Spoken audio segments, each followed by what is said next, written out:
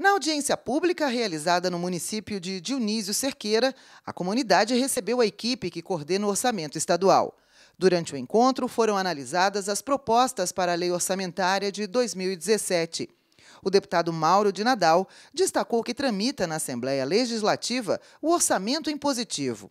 O projeto deve ser votado em breve e dará mais credibilidade às ações elencadas como prioritárias. Nós vamos dar mais segurança para as pessoas é, que costumam é, participar destes eventos, que é distribuído por todo o território catarinense, ao tempo em que aquilo que eles escolherem como prioridade será aplicado no ano seguinte ou nos próximos quatro anos. Nós vamos continuar fazendo o nosso trabalho, até porque cerca de 50% de tudo que já é escolhido já é executado, isso é bom, mas também, de outro lado, 100% de tudo que é decidido incluir no orçamento é incluído. Então, nós estamos avançando. Vamos aguardar um, um, mais um ano, é, com toda a certeza, mas eu quero crer que dessa vez sai efetivamente o orçamento regionalizado impositivo. As cidades que integram a Agência de Desenvolvimento Regional de Dionísio Cerqueira priorizaram a infraestrutura, saúde e energia elétrica.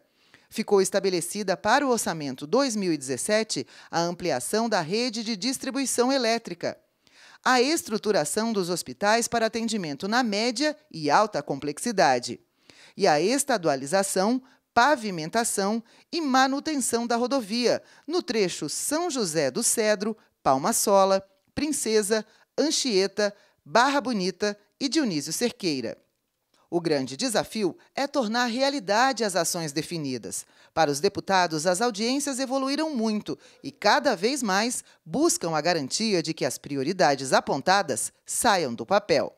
Isso, com certeza, dá uma expectativa e uma segurança a mais para que as pessoas continuem tendo esperança e confiança né, com relação ao parlamento e ao orçamento regionalizado. Eu espero, sinceramente, que essas três indicações agora feitas como prioridades para o próximo ano nós possamos colocá-la de vez em prática.